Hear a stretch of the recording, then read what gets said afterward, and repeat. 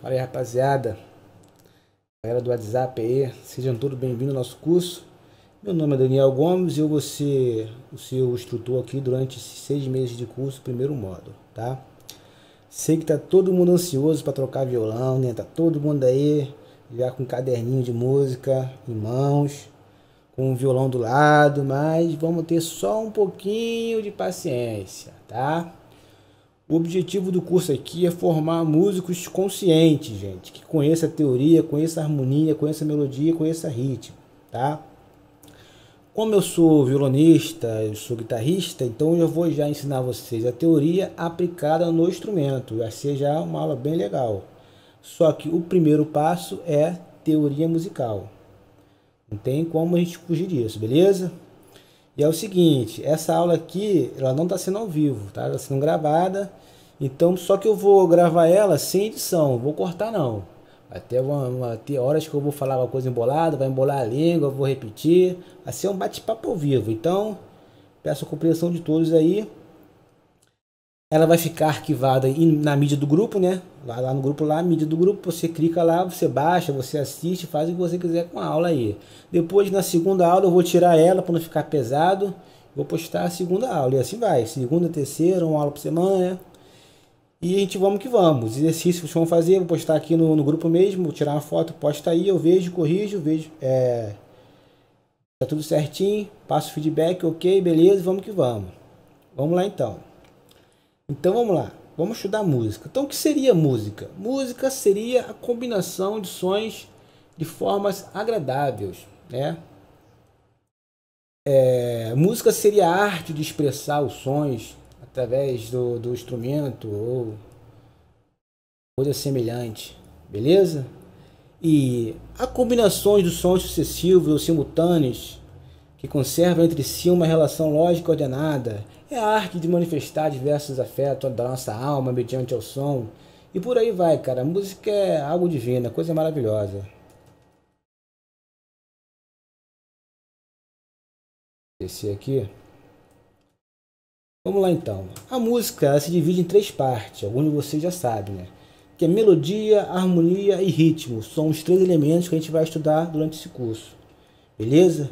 Então vamos definir o que é melodia, o que é harmonia, o que é ritmo. Isso é muito importante, gente, vocês definir isso aqui e usar isso na prática, tá? É muito importante, são três elementos essenciais. Vamos lá, melodia. Melodia é a combinação de sons sucessivos, ou seja, um som após o outro. Ou seja, quando você escuta uma, um solo, você está escutando uma melodia, tá? Que é um som após o outro, a combinação. Um exemplo aqui, ó. Vou tocar aqui uma melodia aqui, ó.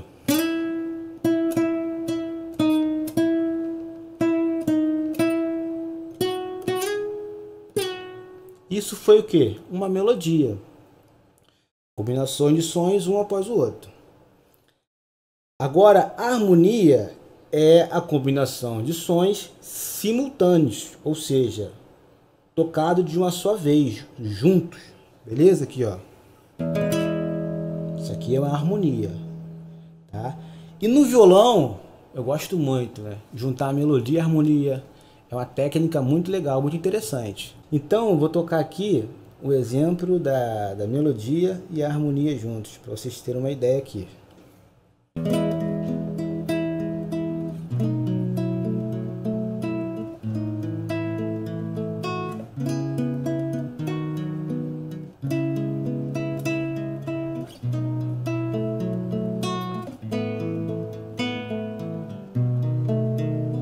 Então eu usei o que? Usei melodia e harmonia junto, tá? É muito interessante isso aí.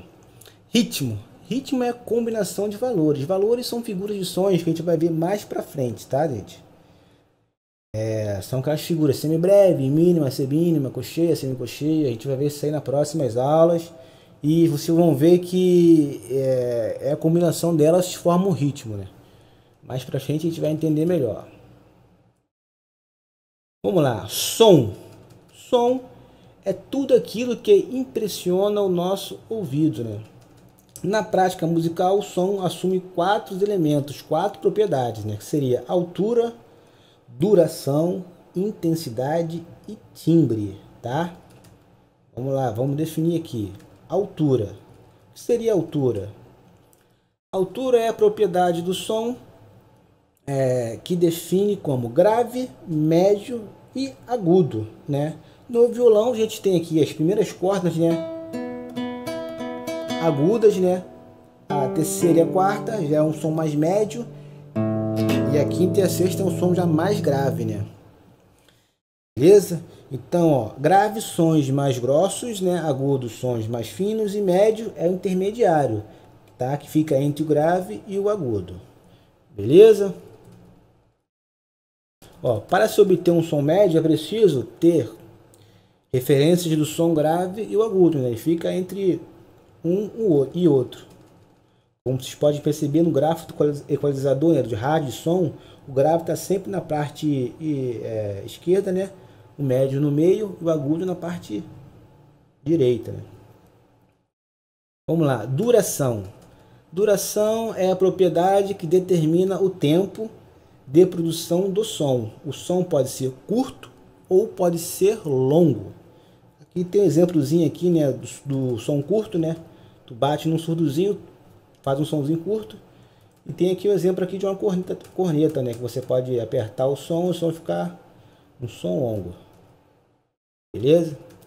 Vamos lá então. Intensidade. Intensidade é a propriedade que determina a força com que o som é executado, o volume. Isso aqui é muito importante. Intensidade do som na hora de você tocar o seu instrumento, você se expressar. É muito importante.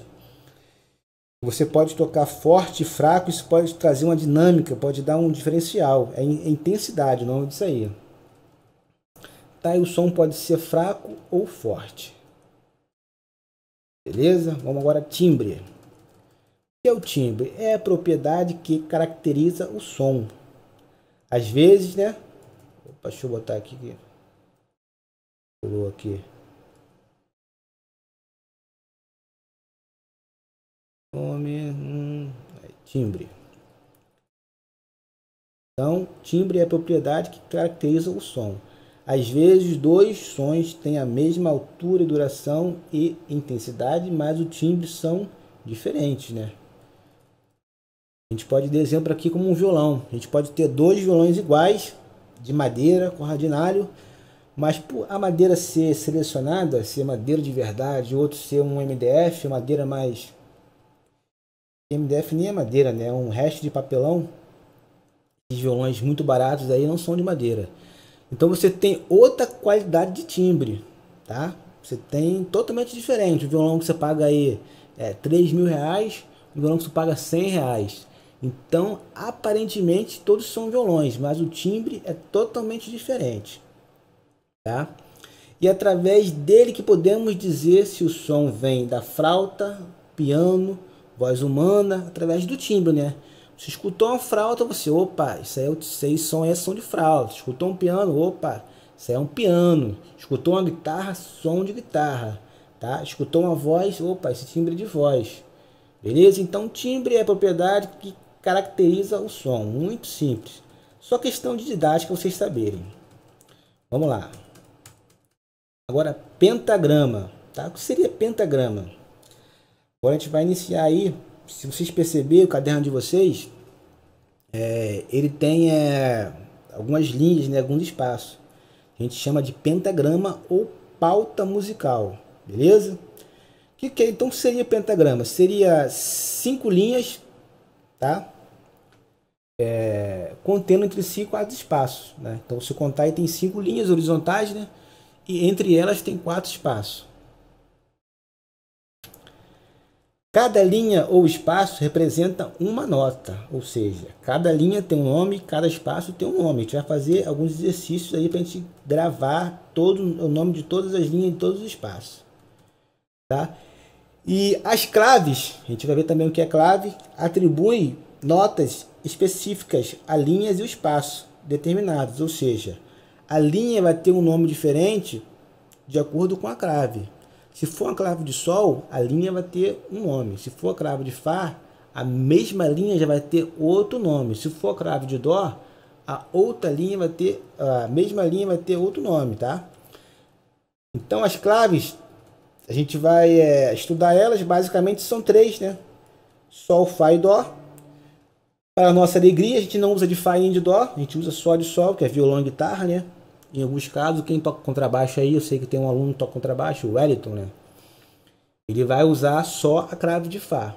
O instrumento dele é grave, então clave de Fá é para instrumento grave. A gente vai usar só a clave de Sol. Seria esse sinalzinho aqui. Bonitinho aqui. Então, a clave de Sol ela é usada é, para os tons médios e agudos. E a clave de Fá é usada para sons graves, né? baixos. Então, é contrabaixo, é teclado, piano, é, violoncelo, por aí vai. Tudo que é instrumento grave usa a clave de Fá. Lá. Então, a primeira clave que vamos discutir é a clave de Sol. Tá? Ela, a clave de Sol é assinada na segunda linha. Tá? Aqui, ó, o pontinho vermelho aqui. Ó. Vocês vão ver na clave de Sol ali. Ó. Então, aquela notinha ali vai ser Sol, porque ela está é, assinada na segunda linha. Então, se ali é Sol, é só você dar continuidade, tanto para cima quanto para baixo, que os espaços e as linhas vão continuar seguindo a escala. A gente vai ver isso mais para frente, daqui a pouco. Então, ó, um exemplozinho aqui, ó, clave de sol. Ó, a nota do espaço acima do sol é a nota lá, né? Se você for perceber, depois do sol vem lá, é dó, ré, mi, fá, sol e lá. Então, é, segunda linha vai ser sol, então a próxima nota vai ser lá. Então aqui, ó, a partir da nota sol, da onde a clave está assinada, a linha acima do Lá é o Si. E assim esse procedimento continua, esse processo, né? Então seria Sol, Lá, Si, Dó, Ré, Mi, Fá, Sol. O nome das linhas e espaços. Beleza? Então eu quero que vocês, todo mundo, pegue três folhas do seu caderno e faz esse exercício aqui, ó. Desenha a clave de Sol e Começa Sol, Lá, Si, Dó, Ré, Mi, Fá, Sol. Três folhas, tá, gente? Não é muita coisa. Vocês têm uma semana para fazer esse exercício. Divide o caderno no meio, faz uma linha. Aí você faz Sol, Lá, Si, Dó, Ré, Mi, Fá, Sol. Mesma coisa. Faz uma bolinha, igual tá aqui. E escreve o nome embaixo. Idêntico ao exercício aqui. Um exemplo, né? Vamos lá então. É linhas suplementares. Que, o que, que é isso? O que, que são linhas suplementares? Vocês pensaram que as notas musicais, todas elas, a região do braço do violão todinha, seriam só escritas em cinco linhas de quatro espaços? Claro que não. Não tem como você escrever as notas todas do braço do instrumento ou de um piano, as oitavas, né? Em apenas é, cinco linhas e quatro espaços. Então, por isso, existem as linhas suplementares. Superior para notas agudas e inferiores para notas graves. A gente vai ver isso mais para frente. Tá? Então, ó, as linhas suplementares dão continuidade à marcação das notas. Então, vocês podem ver aqui, ó, Sol, Lá, Si, Dó, Ré, Mi, Fá, Sol, ó. Sol não parou não, continua. Só que as cinco linhas acabaram, né? Então a gente vai colocar, é, a gente vai imaginar, né? São linhas imaginárias, suplementares. Vai continuar a escala e vai colocar linhas fora da pauta, subindo para notas agudas e descendo para notas graves. Aqui, o um exemplozinho aqui, ó. Tá vendo? Depois do sol continuou, veio lá. E assim vai, ó.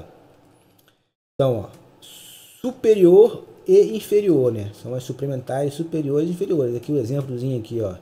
Existem as linhas e espaços suplementares superiores e inferiores, como diz na, no vídeo aqui atrás. Ao subirmos a linha e os espaços, temos os sons mais agudos e ao descermos, teremos os sons mais graves.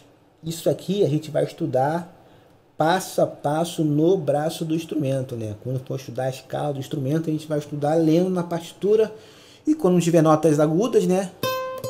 Ela vai estar escrito na, nas linhas suplementares superiores. Quando tiver nota mais grave, ela vai estar escrito nas linhas é, suplementares inferiores.